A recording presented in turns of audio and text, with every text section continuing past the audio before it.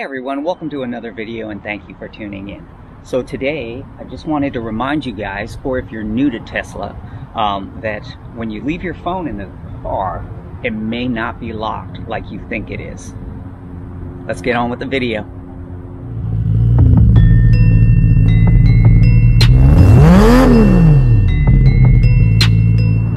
All right, like I was saying in the past, a lot of times I'll go places running, swimming, or whatnot, mountain biking, and I'll leave my phone in the car and I'll use a key card to secure the vehicle. Well, I'm as guilty as anyone else for doing this, so I wanted to pass this along to you guys that in spite of you locking the car, and you see it gives all the physical cues the beep, the mirrors close in, everything feels like it's locked, and you'll walk away thinking, okay, all good. We'll take the key card and we'll put it somewhere else. I'm gonna go off screen for a second. Okay, so now you would think that car's secure and no one could get into it. Unfortunately, it will open right up. And not only will it open right up, but if your phone is in the car, no matter where it is, if you have it hidden, whatnot, someone can put it in drive and start driving off with it. So, why does this happen?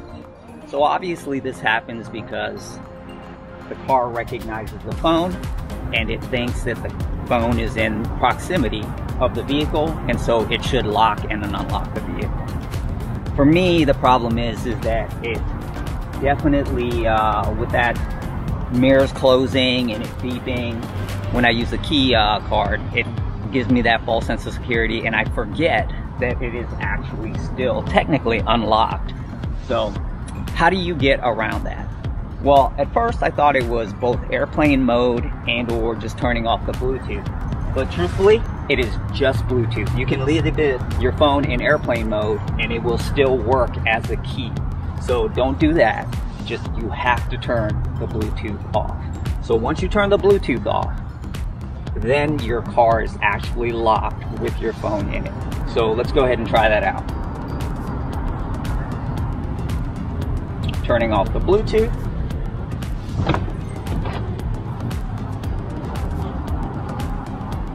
You'll even get an alert says that your uh, that your phone is no longer uh, used as a key.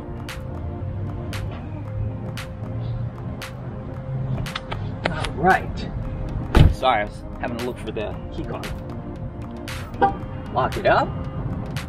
And even with the key, this, uh, you know, the RFID isn't strong enough to work as a proximity sensor, so locked.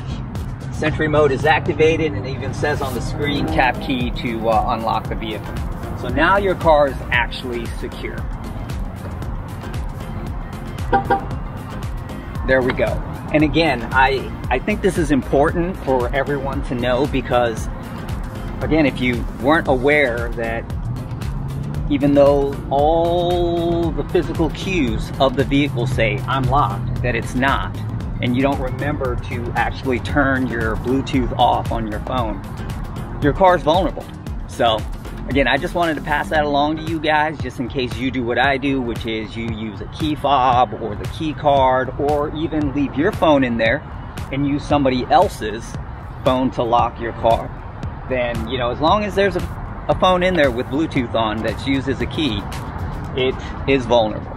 So, all right, guys. Well, I just like again, I wanted to pass that on and share that with you guys.